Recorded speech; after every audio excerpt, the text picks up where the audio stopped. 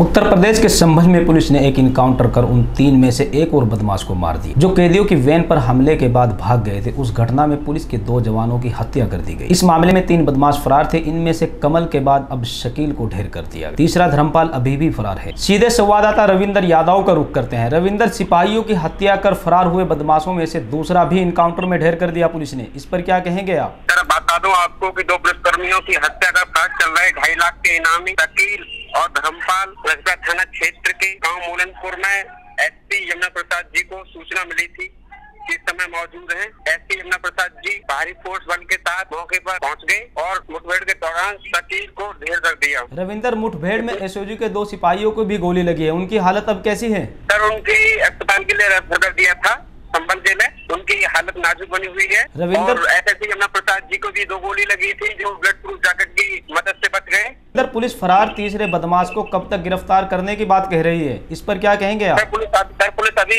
उसकी तलाश कर रही है। शुक्रिया रविंदर आपका हमसे जुड़ने और तमाम जानकारी साझा करने के लिए। यूपी के हरदोई में लोगों ने सांडी पावर हाउस पर बिजली की किल्लत को लेकर प्रदर्शन कर अपनी नाराज़गी ज़ाहिर की। इसी दौरान लोगों ने बिजली विभाग के खिलाफ नारेबाजी भी की। सीधे संवाददाता प्रमोद कुमार का रुख करते हैं। प्रमोद बिजली की किल्लत पर फूटा लोगों का गुस्सा और की नारेबाजी इस पर क्या कहेंगे आप? सर हरदोई के विकास खंड सांडी के पावर हाउस ग्राम पंचायत मेवड़ा के एक महीने से बिजली न आने के कारण आज ग्राम पंचायत ग्रामीणों का गुस्सा फूटा। बिजली पावर हाउस का घेराव किया और धरना प्रदर्शन किया है। और एसडीओ सांडी व जे के खिलाफ मुर्दाबाद के नारे लगाए हैं।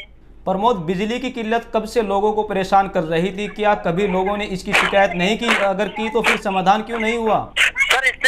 शिकायत कई बार लोगों ने बताया कि हमने कई बार शिकायत प्राथमिक के ज़रिए की, लेकिन आज तक कोई झांकने तक नहीं आया। इसलिए आज ग्रामीणों अपनी समस्या से जूझते हुए आज ग्रामीणों ने आज धरना प्रदर्शन किया और एसडीओ के खिलाफ नाराबाजी की। इससे साफ़ ज़ाहिर होता है कि योगी सरकार 18 घंटे ग्रामीण क्षेत्रों में बिजली देने का दावा कर रही थी, लेकिन उसकी पोल खुलती नज़र आ रही है। प्रमोद, प्रदर्शन के दौरान क्या बिजली विभाग का कोई अधिकारी मौके पर आया? अगर आया तो क्या कुछ कहा लेकिन अभी तक सर ग्रामीण तक खबर लिखी जाने भी अधिकारी मौके पर नहीं पहुँचा, इससे ग्रामीणों का गुस्सा पूरी तौर पर है। शुक्रिया प्रमोद, आपका हमसे जुड़ने और तमाम जानकारी साझा करने के लिए।